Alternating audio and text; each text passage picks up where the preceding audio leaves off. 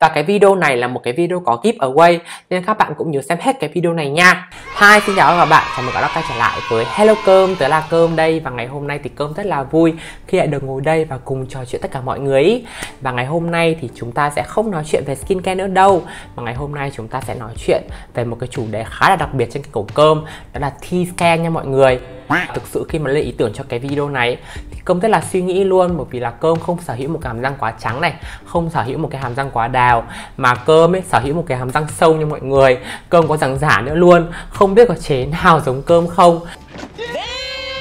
Tuy nhiên từ chính những cái trải nghiệm đầy đau thương và nước mắt ấy thì ngày hôm nay cơ mới tự tin ngồi đây và chia sẻ cho các bạn những cái dụng cụ, những cái sản phẩm uh, chăm sóc răng miệng chuẩn nha khoa nha mọi người để cho các bạn không chỉ sở hữu một hàm răng chắc khỏe mà còn không bị hôi miệng cũng như là sẽ làm trắng sáng hàm răng của chúng ta hơn. Và không để mọi người chờ lâu hơn nữa thì chúng ta cũng bắt đầu thôi cái sản phẩm đầu tiên cũng là cái sản phẩm mà công nghĩ rằng ai ai thì cũng nên đưa vào trong cái chu trình chăm sóc răng miệng của mình ấy. Đó chính là những em chỉ nha khoa như thế này đây bởi vì là khi mà chúng ta ăn thì thức ăn nó rất là dễ mắc vào giữa các kẽ răng mọi người. Và bàn chải của chúng ta thì không thể nào mà làm sạch được những cái vùng kẽ răng như vậy. Và thức ăn lâu ngày tích tụ như vậy thì nó sẽ gây ra sâu răng và dần dần sẽ gây ra hỏng răng nếu mà chúng ta phát hiện sớm.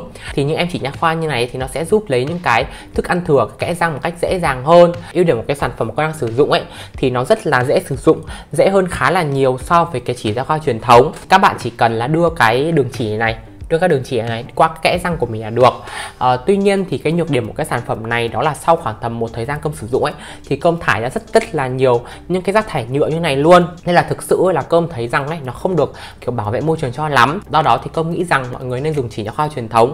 Cơm thì sau cái túi vừa rồi thì cơm cũng sẽ chuyển sang chỉ nha khoa truyền thống nha mọi người để cho nó healthy and balanced hơn. Cái sản phẩm thứ hai là một cái sản phẩm mà cơm nghĩ rằng mọi người cũng nên đầu tư đó chính là một cái em bàn chải điện nha mọi người. Thực sự là cách đây khoảng hơn một năm thì cơm không có ý định bàn trải điện đâu. Tuy nhiên thì khi mà cơm nói chuyện với em đồng nghiệp cơm, có cái hàm răng rất là trắng luôn. Và cơm hỏi em ấy là bí quyết của em là gì, thì em trả lời là em không có bất cứ một cái bí quyết gì đặc biệt cả. Và có lẽ là cái điều khác biệt duy nhất so với mọi người là em sử dụng bàn chải điện thôi. Và em ấy cũng giới thiệu cho cơm một cái loại bàn chải điện ấy khá là hạt rẻ luôn ờ, của nhà Maxonic ấy mọi người. Đây này, cái thương hiệu nó như thế này này ở đây như thế này hình như camera nó hơi ngược đấy khó nhìn. Nên là cơm cũng đã quyết định là mua cái sản phẩm này về để sử dụng thử. Thì cái ưu điểm của sản phẩm này đầu tiên ấy là phải kể đấy là cái sản phẩm này nó có cái giá thành rất là rẻ so với những cái bàn chải điện thông thường.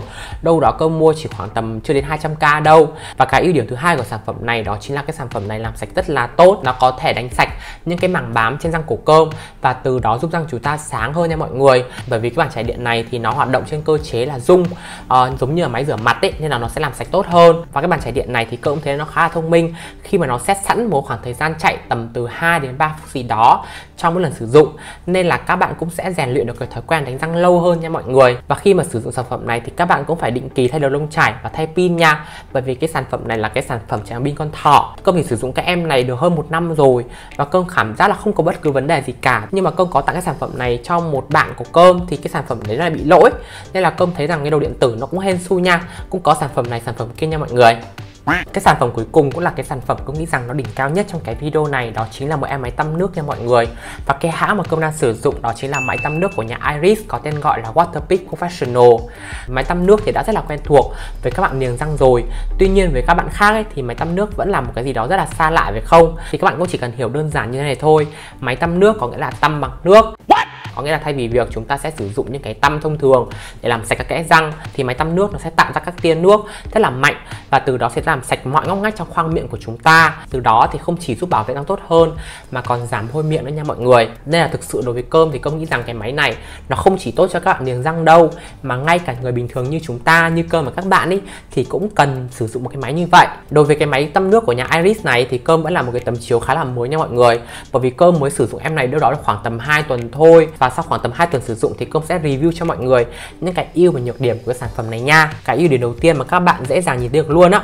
Đó chính là cái máy tăm nước của nhà Iris này. Nó có một cái thiết kế vô cùng độc đáo xinh xắn đáng yêu.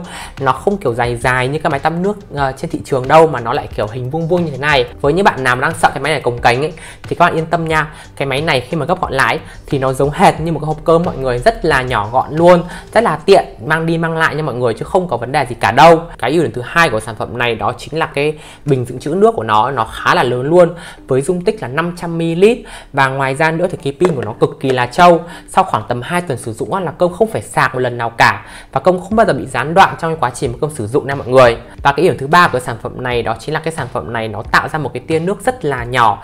Và cái độ mạnh yếu ấy thì nó sẽ phụ thuộc vào các bạn điều chỉnh thôi. Nên là các bạn cũng yên tâm nha. Một cái ưu điểm mà cơm mới nhận ra cái sản phẩm này đó chính là cái sản phẩm này ấy, có thể sử dụng cho rất là nhiều người luôn. Sau khi mà các bạn sử dụng xong á thì các bạn chỉ cần ờ, tháo cái ờ, đầu tăm này ra, xong các bạn vệ sinh sạch sẽ. Các bạn cất vào cái hộp này này, ở đây nó có cái hộp các bạn ạ. Sau đó là chúng ta có thể là, đây cơm mở cái hộp này ra đã. Hơi khó mở chút xíu. Đây. À ok. Rồi, như thế này đi. Đó, thì nó sẽ có một cái hộp ở chỗ này vào. Sau đó một người khác ấy, thì chúng ta sử dụng một cái đầu tăm khác và chúng ta lại làm như vậy thôi. Chúng ta sử dụng xong chúng ta lại vệ sinh chúng ta cất vào đây. Nên là cái máy này mặc dù nó hơi mắc một chút xíu tuy nhiên thì cái việc sử dụng cho cả gia đình hay cho rất là nhiều người thì đâu đó nó cũng sẽ rẻ hơn rồi phải không mọi người. Cái nhược điểm của cái sản phẩm này đó là khi mà các bạn mới sử dụng ấy thì các bạn sẽ không quen lắm đâu. Nên là các bạn cũng sẽ thấy là nước bắn tung tóe lên mặt rồi lên người là chuyện hết sức bình thường luôn nha mọi người cái này chúng ta nên tập thành một vài lần chúng ta mới quen được.